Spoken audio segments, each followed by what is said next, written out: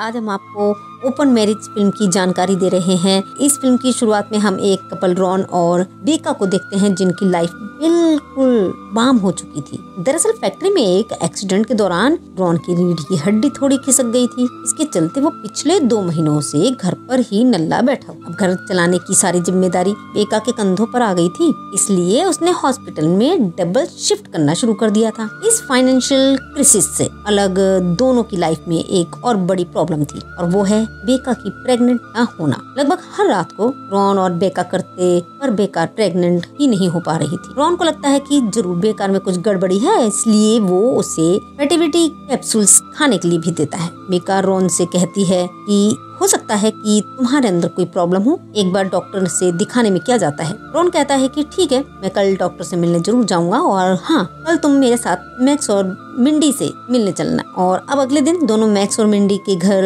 उनसे मिलने पहुँचते हैं, चारों एक दूसरे को कॉलेज के टाइम से ही जानते रोन मैक्स की मस्त बंगले को देखकर समझ चुका था कि मैक्स की लाइफ पूरी तरह से सेट है। इसलिए वो मैक्स से कहता है कि तुम मुझे यार किसी नई बिल्डिंग के कंस्ट्रक्शन का जॉब ही दिला दो। एक बार मुझे प्रोजेक्ट मिल जाए तो मेरी भी लाइफ सेट हो जाएगी। पर रॉन, पर मैक्स रॉन की बातों पर ध्यान नहीं दे रहा था, बल्कि वो तो मिंडी के साथ मचाटी करने में लगा हुआ था। मिंडी जब बेकार से उन दोनों की सेक्स लाइफ के बारे में पूछती है तो एक पल के लिए रॉन और बैंक का बिल्कुल मौन व्रत धारण कर लेते हैं। ये देखकर मिंडी को समझने में देर नहीं लगती कि उन दोनों की सेक्स लाइफ भी बाम है। वो रॉन से कहती है कि हमें देखो दोनों अलग अलग लोगों के साथ खपा धप करते हैं। और इस वजह से हमारी सेक्स लाइफ बिल्कुल मस्त चल रही है ना? ना कोई चिक चिक और ना ही कोई झिक झिक तुम दोनों भी एक बार ट्राई करके देखो। ये कॉन्सेप्ट रॉन और की समझ से बाहर थी, इसलिए वो दोनों तुरंत बहाना बनाकर वहाँ से निकल लेते हैं। लेकिन मिंडी की बात सुनकर दोनों जोश में तो आ चुके थे।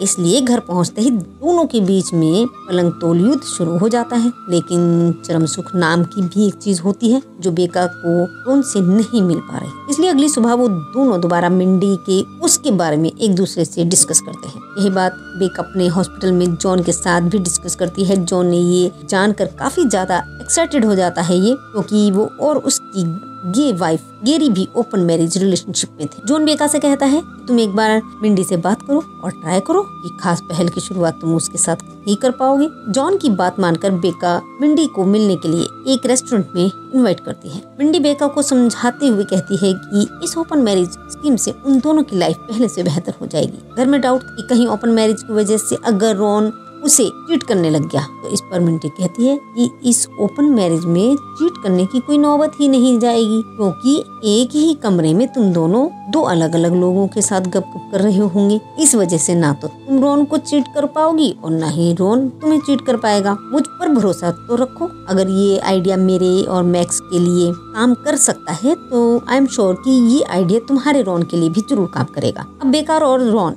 दोनों ही इस ओपन मैरिज को ट्राई करने के लिए राज़ी हो चुके थे। इसलिए दोनों सबसे पहले ट्राई करने के लिए और मिंडी के घर पहुँचते हैं क्योंकि अगर कुछ गड़बड़ हुई तो बात उन चारों के बीच में ही रहेगी। वरना अगर किसी बाहर वाले को इनके इस ओपन मैरिज के बारे में पता चल जाता है तो बात बिगड़ सकती है। वेल तो कार्यक्रम की शुरुआत होती है, जिसमें रॉन मिंडी के साथ लगा हुआ था। तो वहीं दूसरी तरफ़ मैक्स बेकार के साथ टपाटप करने में सारी रात चारों और एक दूसरे के पार्टनर के साथ खपाखप करने में बिता रहे। अब अगली सुबह दोनों रात में हुए कारनामों के बारे में एक दूसरे से डिस्कस कर रहे होते हैं। बेकार उनसे पूछती है कि क्या तुमने पहले कभी ऐसा करने के बारे में था रॉन कहता है कि हाँ मैं तो लड़का हूँ और ये मेरी पेंटेंसी थी और ये बताओ कि क्या तुम्हें ये करके मज़ा आया? कहती है कि हाँ मुझे तो बहुत आया और उतना मज़ा तुम्हें भी आया होगा कि नहीं? ये सुनकर रॉन कहता है कि हाँ बात तो सही है और वो अपना तौलिया खुलकर बेग के साथ करने में लग जाता एक रात और मैक्स दोनों रॉन और बेग को अपने साथ एक क्लब में ले जाते हैं जहाँ वलाभिया नाम की एक भांड लेडी उन चारों का स्वाग से स्वागत करती है और क्लब में उन चारों की ही तरह ओपन माइंडेड भरे पड़े हैं। रॉन वहाँ मौजूद लड़कियों को देखकर सुपर एक्साइटेड हुए जा रहा था कि तभी उसे मिंडी की याद दिलाती है कि वहाँ वो चारों आपस में घपा घप करने आए हैं। न कि किसी अनजान आदमी के साथ फिर एक कमरे में पहुंचकर चारों दोबारा एक दूसरे के पार्टनर के साथ पलंग तोड़ युद्ध लड़ने में शुरू हो जाते हैं। थकावट के मारे रॉन सो गया था और जब उसकी आँख खुलती है तो वो देखता है कि मैक्स और बेका वहाँ से गायब है। रॉन तुरंत मिंडी को उठाता है और दोनों मैक्स और बेका को ढूंढते हुए एक दूसरे के कमरे में पहुँचते हैं, जहाँ मैक्स और बेका एक दूसरे से लिपट कर सो रहे थे। तो ये देखकर बिल्कुल भी अच्छा नहीं लगता, क्योंकि चारों ने एक रूल बनाया था कि जो भी करना है, एक ही कमरे में करना होगा। अब इस बात से रॉन का मूड ऑफ़ हो चुका था और वो बेकार में ये सब बंद करने के लिए कहता है, अगले दिन इस बारे में मिंडी से बात कर। तो मिंडी उल्टा को समझाते हुए कहती है कि तुम ज़्यादा टेंशन मत लो, रॉन खुद तुम्हें ये करने के लिए मनाएगा। उसी रात बेकार रॉन को फ़ोन करके बताती है कि उसे हॉस्पिटल में आज ओवर टाइम करना पड़ेगा। सो उसे घर में आने के लिए काफ़ी देरी हो जाएगी और अब रॉन सोचने लगता है कि बेगा को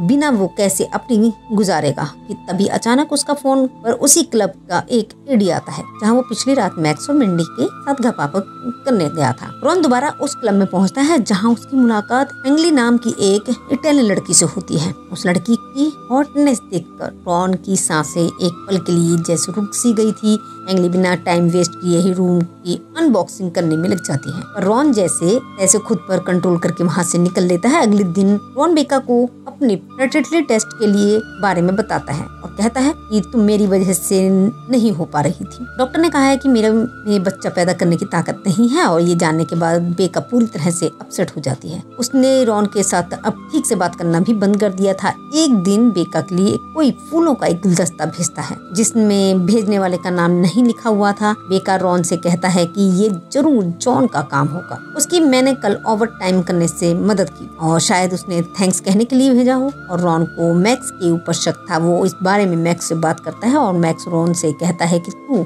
पागल है क्या? मैं भला क्यों बेका को भेजने लगा? रॉन ये भी कहता है कि आजकल कुछ ज़्यादा ही ओवर टाइम करने लगी है और जब से मैंने उसे अपने फर्टिलिटी टेस्ट के बारे में बताया है, तब से वो मुझसे ठीक से बात भी नहीं कर रही है। मैंने सोचा था कि इस ओपन मैरी से सब कुछ ठीक हो जाएगा। पर इस स्कीम की वजह से तो सब कुछ उलझा ही जा रहा है। मैक्स रॉन से कहता है कि तू ज़्यादा टेंशन मत ले, सब ठीक हो जाएगा। एक रात हमेशा की तरह वो घर आने में देरी हो जाती है तो रॉन चेक करने के लिए उसके हॉस्पिटल में कॉल लगाता है। वहाँ उसे जोन से पता चलता है कि तीन घंटे पहले ही हॉस्पिटल से निकला है। ये सुनकर रोन का शक और ज़्यादा गहरा हो जाता है, जो जॉन से पूछता है कि तुमने आज सुबह बेगा को फ्लावर्स भेजे थे क्या? जॉन कहता है कि नहीं तो बेगा को फ्लावर्स भेजने में क्यों लगा? रॉन कहता है कि नहीं नहीं, बस ऐसे ही इधर हम बेगा को देखते हैं, जो चुपचाप उसी क्लब में जाती है, जहाँ पिछली रात रॉन गया था। वहाँ उसकी मुलाकात मैक्स से होती है और पता चलता है कि दोनों हर रात उसी क्लब में मिलते थे और दबा कर गबागब किया कर यहाँ हमें पता चलता है कि इस ओपन मैरिज का सारा आइडिया इन दोनों का ही था, ताकि दोनों एक दूसरे के साथ आराम से कर सके। अब बेका प्रेगनेंट भी हो चुकी थी और ज़ाहिर सी बात है कि उसके पेट में किसी और का नहीं, बल्कि मैक्स का ही बच्चा पल रहा। बेका मैक्स को प्रेगनेंसी के बारे में बताती है तो मैक्स खुशी से उछल पड़ता है। तभी बेका उससे कहती है कि, तू मुझे इस तरह के फूलों का गुलदस्ता मत भेजा कर। रोम को शक हो गया था कि, लेकिन मैक्स बेका से कहता है कि वो, मैंने वो गुलदस्ता नहीं भेजा था। ये सुनकर बेका सोचने में लग जाती है कि अगर मैक्स ने गुलदस्ता नहीं भेजा है तो आखिरकार भेजा किसने? देर रात जब बेका अपने घर पहुँचती है, तब रोम उससे देरी का कारण पूछते हुए कहता है कि, मैंने हॉस्पिटल में कॉल किया था, तुम वहाँ नहीं थी। अब मुझे तुम बताओगे कि आखिरकार चल क्या रहा है? साथ ही साथ वो बेका को उसकी प्रेगनेंसी किट भी दिखाती है, जिसमें टेस्ट के दौरान बेका प्रेगनेंट शो हो रही थी। बेका रॉन से झूठ कहती है कि उसके पेट में रोन का बच्चा पल रहा है पर असलियत में हम ऑडियंस जानते हैं कि कहीं ना कहीं रॉन भी अपनी सच्चाई जानता था कि वो कभी बाप नहीं बन सकता। बेगा कहती है कि मैं मॉल गई हुई थी, अपने होने वाले बच्चे के लिए कुछ शॉपिंग करने। अब इससे पहले कि रॉन कुछ और सवाल कर पाता। बेकार रॉन के साथ भागप करने लग जाती है और अब रॉन बेक के लिए ब्रेकफास्ट बना रहा होता है और तभी दरवाजे की घंटी बजती है। रॉन देखता है कि दरवाजे पर कोई बेबी ट्रॉली ले रख कर गया था। रॉन बेके से पूछता है कि आखिरकार तुम्हारी प्रेगनेंसी के बारे में और कितने लोग जानते हैं? वे कहते कि मैं और तुम। अब बेका को भी लग रहा था कि ज़रूर उसके ऊपर कोई नज़र रख रहा है। एक दिन जब रॉन और बेका मैक्स और मिंडी के साथ डिनर कर रहे होते हैं तो उन चारों के फ़ोन में एक ही मैसेज आता है। उस मैसेज में रॉन और एंगली की एक अश्लील तस्वीर थी, जिसे देखकर बेका तुरंत गुस्सा हो जाती है। रॉन से उस बारे में पूछने लगती है और वो कहता है की हाँ मैं उस रात वापस क्लब में गया था और सिर्फ़ एक बार मैंने मचाटी से ज़्यादा उस लड़की के साथ कुछ भी नहीं किया। लेकिन उसको रॉन पर यकीन ही नहीं हो रहा था। तभी चारों को एक और मैसेज रिसीव होता है। इसमें इस बार मैक्सा के साथ लिपटा हुआ था। अब उस मैसेज की वजह से पासअप पूरी तरह से पलट चुका था। तो बेका ज़्यादा देर तक खुद को रोक नहीं पाती है और फाइनली वो सारा सच रॉन को बताने लगती है।